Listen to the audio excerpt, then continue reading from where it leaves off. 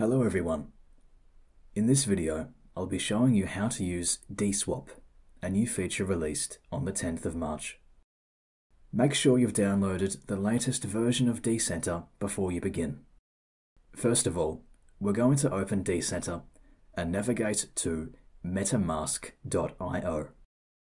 If you already have MetaMask installed, you can skip this step. Anyway, click Download Now, then click Install MetaMask for Chrome, and then Add to Chrome.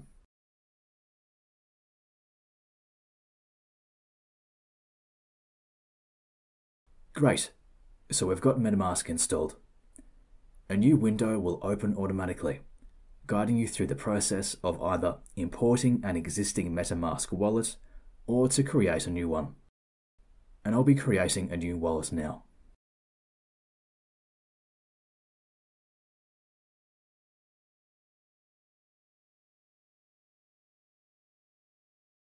It is very important that you save and store your seed phrase, as this is the key to restoring your wallet in case you forget your password.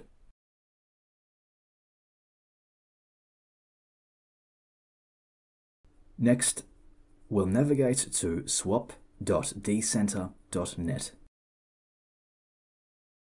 You'll see your Decentr wallet on the right with the available balance.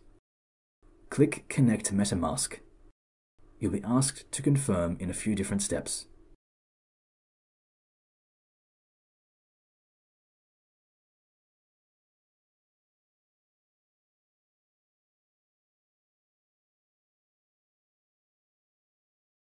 Once that's done, enter in the amount of ERC20 DEC you'd like to swap to native and click Swap. Once again, a few more windows will appear for you to confirm. Gas fees will be displayed here too.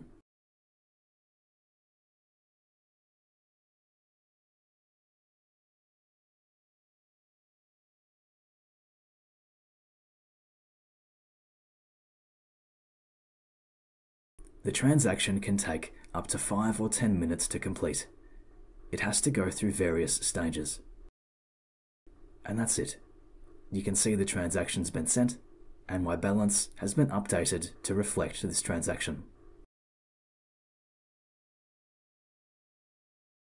If anyone has any questions or queries, please comment in the comment section below.